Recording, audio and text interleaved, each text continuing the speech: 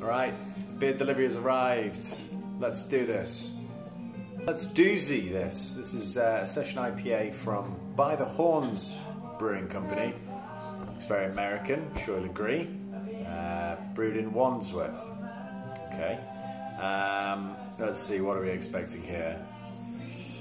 Uh, doesn't really say anything of note at all, so it's a mystery. Let's see.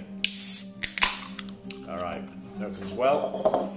Flavourly branded glass, so let's see if this adds to the flavour. All right.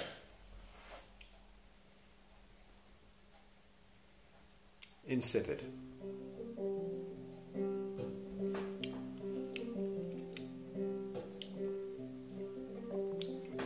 Quite heavy, with um, quite a nasty, almost dusty aftertaste. Not what I was expecting or hoping for.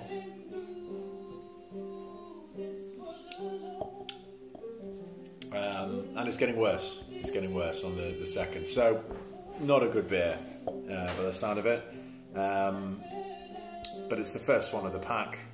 Um, let's see if it gets better from here.